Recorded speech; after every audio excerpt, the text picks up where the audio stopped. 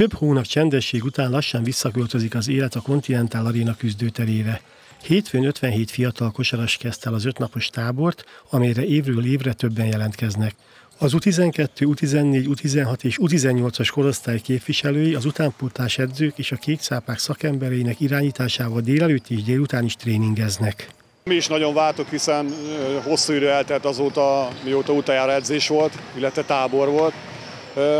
A tábor az ugyanolyan szempontok szerint a felépítve, mint eddig, tehát a délőtti edzéseken főleg inkább nyújtással, bosszus gyakorlatokkal, egyensúly gyakorlatokkal, mobilizációval foglalkozunk, kevés labdával, labdás gyakorlattal, délután pedig csak labdás gyakorlatok vannak. Hagyomány, hogy a felnőtt csapat is egyszerre kezdi a felkészülést, amikor a tábor kezdődik, a felnőtt csapatnak délőtt volt egy felmérőedzése, egy kondíció felmérőedzése, most pedig délután beosztva nyilván nem mindenki van itt, minden napra ugye más játékos fog jönni le, és segíteni fog a gyerekek munkáját.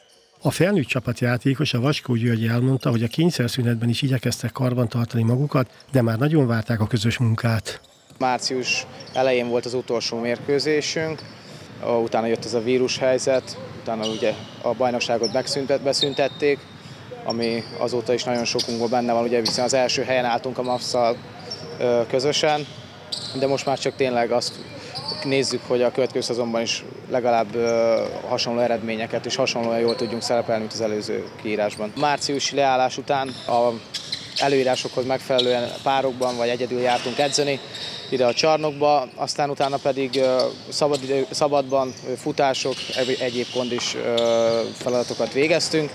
Utána pedig, amikor már úgy minél jobban lenyítették a korlátozásokat, akkor pedig mindenki saját maga a kiírt programok által végezte a munkát. Hétfőn a tábor vendége volt az NB1-ben bajnoki címvédő Szombathely csapatkapitánya Váradi Benedek. A válogatott játékos reményei szerint bajnoki meccsre is visszatérhet a csarnokba.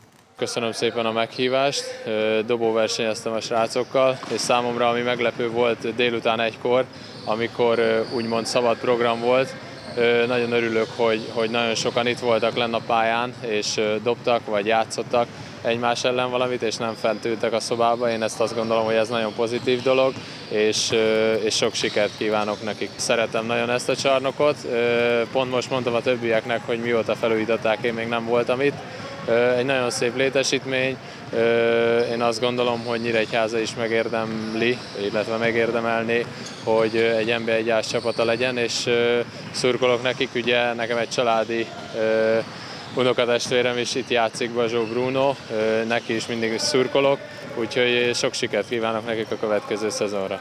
A pénteki zárónapon a nyíregyházi nevelésű, jelenleg Debrecenben játszó Polyák László és klubtársa, a válogatott Tóth Ádám lesz a tábor vendége.